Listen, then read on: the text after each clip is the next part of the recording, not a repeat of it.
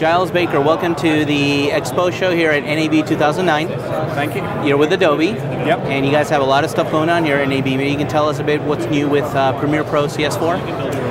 Well, we're showing uh, an update to Premiere Pro uh, CS4 here at the show, uh, Premiere Pro 4.1, and there's a couple of interesting new uh, capabilities in the software that allow our customers to interoperate with a lot of different um, uh, workflows and really extend the capabilities of, of the software. Um, one of the very interesting things that we've been doing is adding native support for red editing in our software, and we've extended that in, at the show by allowing uh, compatibility with red files for laptop editing. So our red native workflow allows you to bring in content directly from the red camera and start editing it directly in the timeline. Now, when you say editing directly, I'm assuming, are you talking about the proxies or you, uh, you're you're not editing 4K. We're talking about the R3D files. Okay. And so what we're doing is importing the R3D files and then allowing our customers to choose what resolution they want to be using. Is there a limit? Those, can you go up to 4K? Files. And you can go up to 4K. Oh, you can. Oh, wow. Now, realistically, on a, a, decent system, you can get 2K playback. Right. Um, 4K real-time editing is, is not really possible within the, the editor with, with kind of the editorial workflow. But up to 2K is, is absolutely possible on a, on a high spec desktop machine. The really nice thing about the way this works, though, is that if you're running on a laptop, you can dial down the resolution and get uh, really excellent editing performance with lower resolution versions. But you don't have to swap out proxies or any of that kind of thing. Now, is this uh, working on both platforms, Mac and PC? That is right, yes. So version 4.1 is available for both platforms right now? Indeed. Okay, and the, this integration workflow is only 4.1 and above? The integration of, uh, of the red, red with, with the, the, multiple resolutions requires Premiere Pro 4.1, one right. the update, and we're expecting to ship the update in uh, the at the end of, of, May. What other new things do you have available? well, in, in 4.1 we have um, updates to the uh, SDK that we ship to our third-party partners, and that allows hardware partners such as Matrox, AJA, and Blackmagic to ship full support for HD workflows with uh, with CS4. We're also improving the performance with uh, project loading and the ability to handle much larger projects in the software.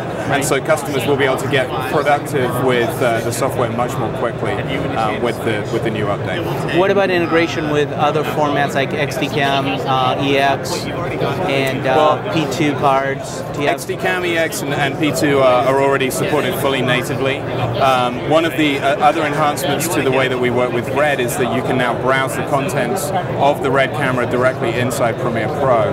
But the other thing that we've added is interoperability with Avid systems. And so we've added some changes to the way that we export and import AAF files, which allows us to, to share media and interoperate very smoothly with Avid Media Composer systems. And also the ability to fully support IMX files within MXF Wrapper.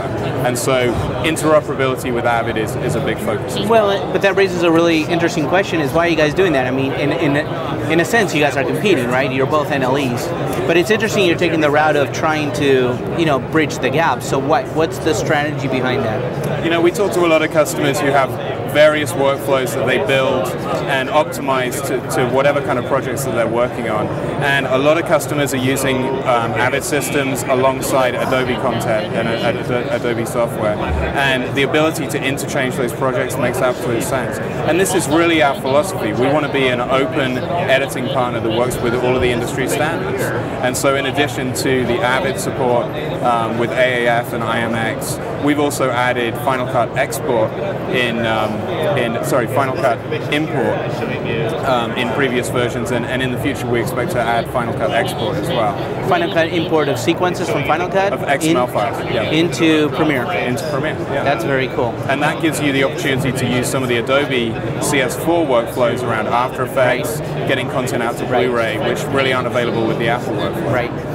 Do you see in, in the long term? Um, where are you trying to get people to move to Premiere Pro, or do you see that people are really using both, like Final Cut and Premiere, interchangeably? I think in, in a lot of cases, people are using Final Cut alongside Premiere Pro. We would love to see them using Premiere Pro, but we don't. We understand that there's there's no real need to change editing systems immediately, and we just want to make it possible to build the kind of workflows that allow our customers to build creative content and really wow their clients. Excellent. And if they want to find out more about uh, Premiere Pro CS4, Adobe.com. excellent. Thank you, Giles. Thank you very much.